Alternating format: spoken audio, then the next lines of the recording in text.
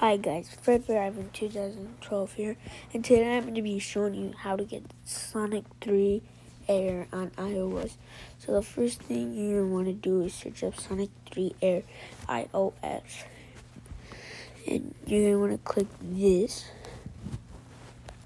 And then you're going to click share.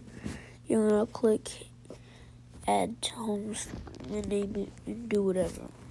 Don't do anything like that. Then when you do that, it's on the home screen. And so what you're gonna have to do is that it's loading.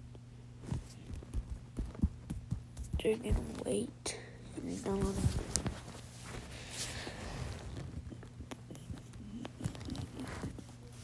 You're gonna have to select the file, and the file is in the description to the link. And click that and then yeah.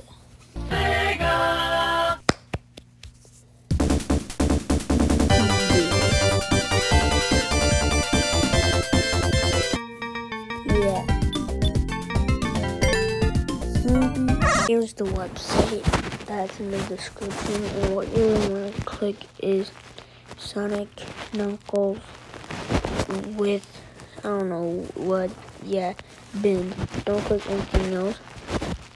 Then when you click it you're gonna have to wait.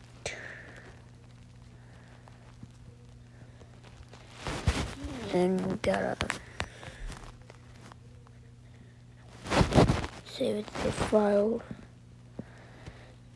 Yeah, I already downloaded it, so yeah, download it and add the file.